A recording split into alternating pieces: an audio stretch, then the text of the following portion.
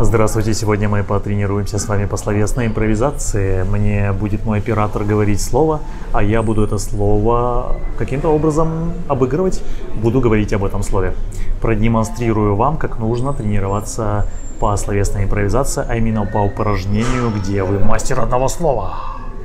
Понеслась, оператор, давай. Стол. Стол.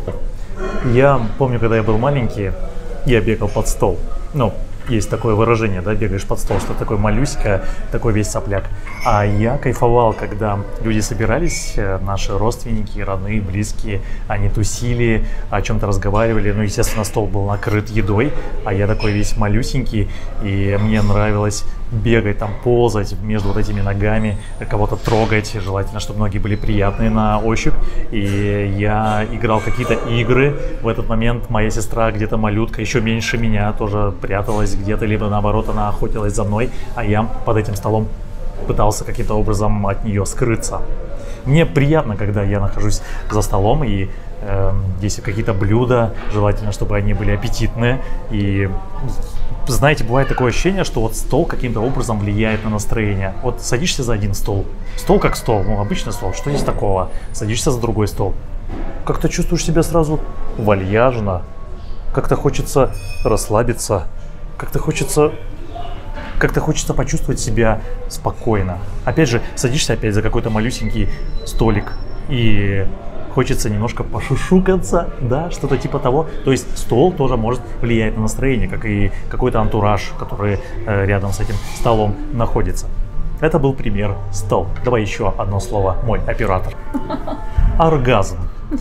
Вы знаете, люди слишком просто интерпретируют это слово. Они думают, что оргазм – это все, что связано с сексом. А хотя, на самом деле, вы испытываете оргазм не только, когда занимаетесь сексом, маленькие мои любители оргазмов. Например, когда вы кушаете, и еда очень вкусная, в этот момент что вы делаете? Ммм, как вкусно, говорите вы. В этот момент вы испытываете маленький микрооргазм. И я думаю, что он ничем не отличается от оргазма, который вы испытываете после секса. Или во время секса.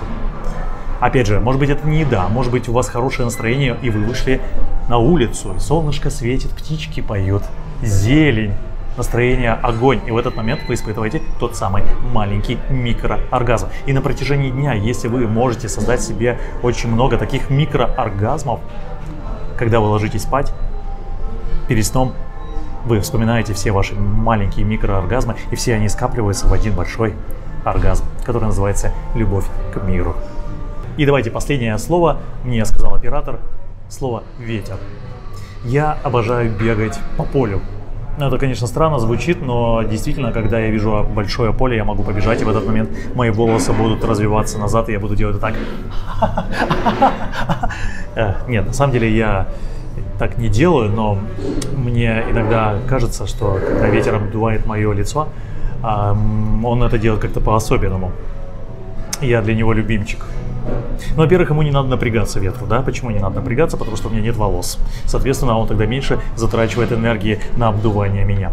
Ну и вдвойне приятно, когда у меня нет волос, то в этот момент я чувствую всей своей кожей то самое обдувание ветра. Я думаю, что мы с ветром очень хорошие любовники и друг друга очень хорошо понимаем. Ребята, сейчас я вам продемонстрировал, как нужно тренироваться по первому слову, да, по словесной импровизации. Вам не обязательно говорить только как Википедия. Ветер – это такое состояние, которое создается от, от туч. Или, например, когда вы думаете о столе, вы говорите, стол состоит из дерева, есть пластмассовые столы. Так не надо. Вспоминайте истории свои, вспоминайте истории своих знакомых, близких, друзей, вспоминайте истории из фильмов, может быть, из книг, создавайте историю, так тоже можно. Опять же, если вы говорите как Википедия, вы начали говорить как Википедия, стол состоит из дерева, ну дальше вы можете продолжить. Вы знаете, когда я прикасаюсь к такому столу, мне хочется в этот момент прочувствовать все, что происходило с этим столом. Какие люди сидели здесь, о чем они думали, о чем они говорили, какие эмоции они переживали, да? То есть вы на начали, то есть вы начали как Википедия, а потом начали рассказывать какую-то историю. И это будет правильная тренировка. Но нужно постепенно к этому идти, не нужно сразу «все, я хочу классно отжигать и рассказывать историю». Сразу не получится. Но если вы постоянно будете тренироваться, у вас все получится. И на сегодня все. Подписывайтесь на мой канал, ставьте лайк, заходите ко мне в паблик. Опять же, в телеграм-канал зайдите. Ну и классной вам тренировки по словесной импровизации. Пока-пока.